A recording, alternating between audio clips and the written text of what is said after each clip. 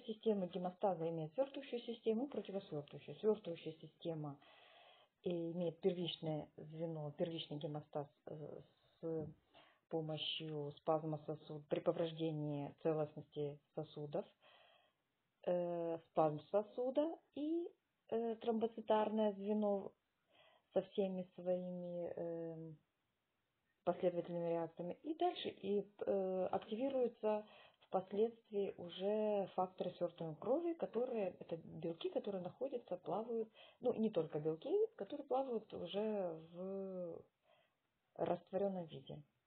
Препараты, которые влияют на э, тромбоцитарное звено, это антиагрегантные препараты, а препараты, которые влияют на вторичный гемостаз, это уже антикоагулянтные препараты.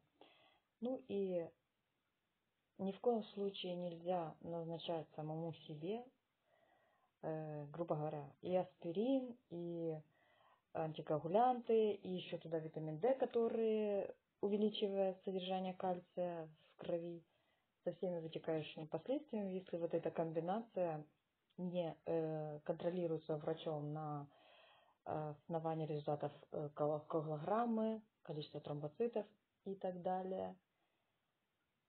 Можно это все разбалансировать до печальных э, последствий.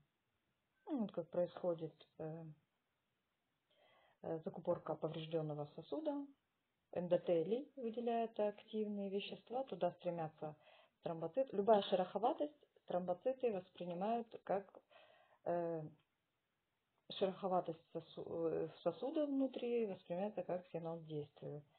Вот они стремятся туда, формируют пробку, а дальше уже факторы свертывания, свертывания э, плетут, плетут сетку фиб, э, нити фибрина, и э, а впоследствии уже через какое-то время э, вступает противосвертывающая, э, вступает в силу противосвертывающая уже система, и э, репаративные механизмы полностью заживляют поврежденное место.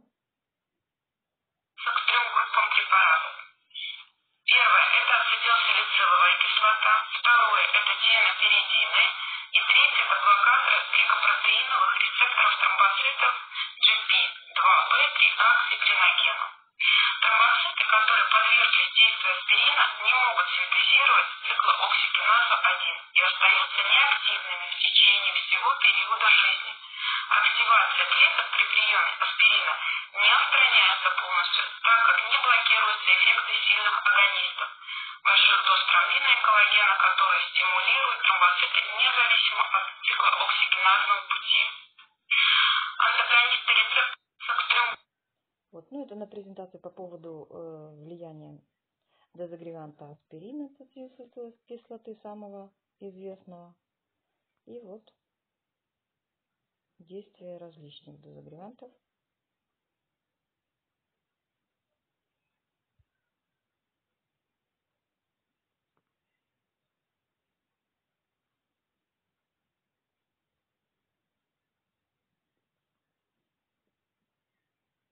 Он самый широко применяемый аспирин. И какие используются лабораторные методы для этого.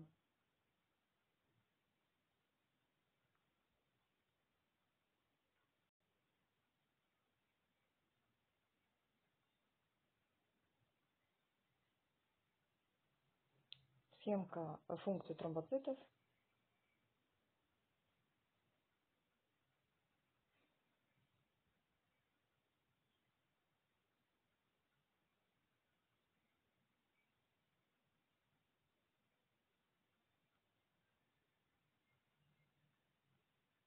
И факторы роста, которые находятся в тромбоцитах, активно используются в плазмотерапии, но при этом, конечно же, у человека должно быть достаточное количество тромбоцитов, потому что если он входит в тромбоцитопению, то, естественно, он себе плазмотерапии не поможет. Вот продолжительность жизни тромбоцитов.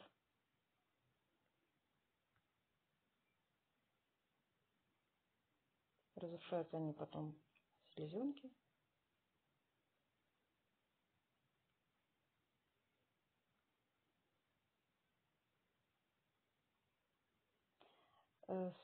Более молодой э, ретикулярный э, тромбоцит будет более темный, и такие полупрозрачные незрелые уже будут тромбоциты постарше.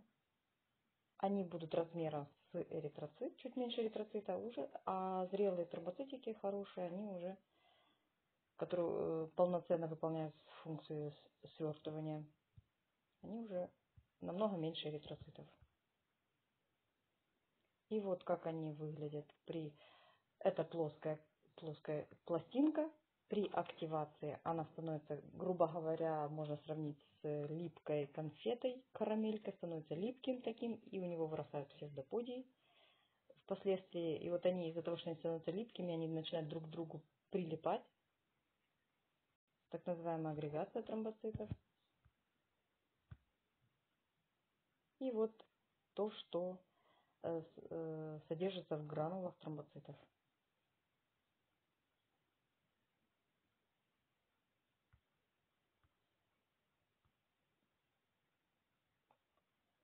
Альфа-гранула.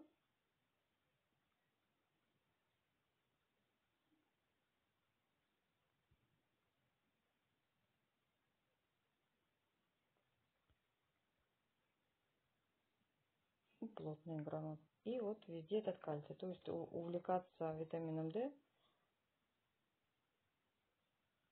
не стоит. Лучше, если хочется потратить деньги в аптеке, лучше пойти и сдать какой-нибудь еще анализ. И человеку интересно, и лаборатории, так сказать, приятно.